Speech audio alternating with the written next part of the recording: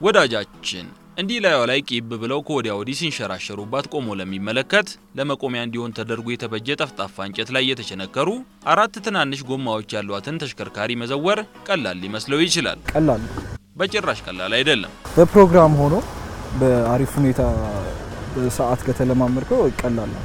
ፈጣሪዎቿ በእንግሊዝ አፍ ስኬት ቦርድ እያሉ የሚጠሯትና አሁን አሁን እዚኛ ጋርም በአንዳንድ አካባቢዎች ወጣቶችን በጀርባው አዝላ ጎዳናዎች ላይ ሽር ስትል ከጀመርን የሰነባበት ነው። skateboard በቀደመው ጊዜ ታዳጊዎች ኩሽኔታ ብለው የሚሰሯት መጫወቻ ተሽከርካሪ በዘመናዊ መልክ ተሰርታ እንደማለት ናት። skateboard የመጠኗን አይቶ ይችንማ መዘወር አያቅተኝም የሚልንና እንደኔ ለመጀመሪያ ጊዜ የሚረግጣትን እግሩ የሱ እስካይመስለው ድረስ በገዛ ፍቃዱ እንዲወዘወዝበት ታደርገዋለች ቢባል ማጋነን አይሆንም። አለፍ ሲልም ከመሬት አላት ማጉል አድርጋ ልታስቀምጠው ትችላለች። በእርግጥ እንደ ሚኪያስ ያሉና ከ skateboard ጋር ከተዋወቁ ዓመታትን ያስቆጠሩ ወጣቶች ዋናው ነገር ፍርሃትን ወግድ ማለትና ጊዜ ሰጥቶ መለማመድ ነው። እንዲያ ከሆነ skateboard ን መዘወር ከጥጥ የቀለለ ነው ባይ ናቸው። ፍርሃት ከሌለ እና ድፍረት ካለ basic ኦችን በደንብ በስርዓት ካገናዘብ በጣም ይቀላል እና ጊዜ ይፈልጋል። እንደ art ም ስለሆነ እንደፈለግከው መጠቀም ትችላለህ እና rule ኦች የሉትም።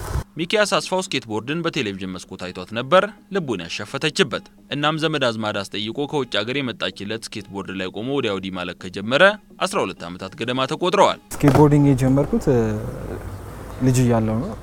ግን ልጆች አግኝቼ በትክክል ሳላቆም በፕሮግራም skate ማድረግ የጀመርኩት ከ11 12 ዓመት በፊት ቤት ውስጥ ነው። እቃ መጨረስ መጋጨት አለ ቤት ውስጥ ቤት ይቆጣሉ። ግን በቃ ያኛውን ስለወደድኩትና ፍቅሩ ስላለ በዛ ሰዓት ዝም ነበር የሚባለው። ግን ብዙ እቃ ጨርሻለሁ። ዛሬ ላይ skateboard ላይ ቆሞ ወዲያ ወዲህ ከማለት ባለፈ የተለያዩ ትርኢቶችን ማቅረብ የተካነበት ሚኪያስ skateboard ወጣቶች ጊዜያቸውን እንዲሁ በዋዛ ፈዛዛ ከማሳለፍ እንዲቆጠቡ ታደርጋለች ይላል። ጥሩ ጎኑ የ skateboard ኡ ብዙ ወጣቶችን በእኔ እድሜ ያሉትም ከኔ በታች ያሉትም ወጣቶች ከብዙ ሱስና ከብዙ ነገሮች እንትን ይላቸዋል፣ ያርቃቸዋል።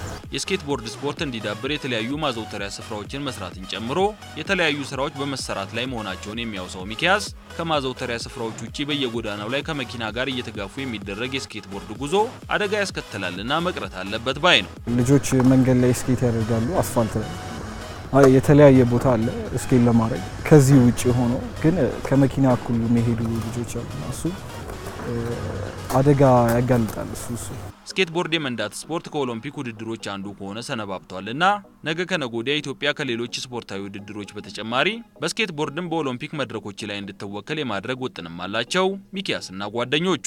skateboarding አሁን ኦሎምፒክ ላይ ገብቷል እና ወደዛ ኢትዮጵያን ወክለው ለመላክ እያሰብን ነው። ወዳጃችን እነ ሚኪያስ ውጥናቸው ሰምሮ ኢትዮጵያችን በስኬት ቦርድም የኦሎምፒክ ድምቀት የምትሆንበት ጊዜ ቅርብ እንዲሆን እየተመኘን ነገር ግን ለአደጋ በሚያጋልጥ መልኩ ከመኪና ጋር እየተጋፉ የሚደረግ የጎዳና ላይ የስኬት ቦርድ ጉዞ ግን መቅረት አለበት የሚል መልእክታችንን እነሆ እንላለን።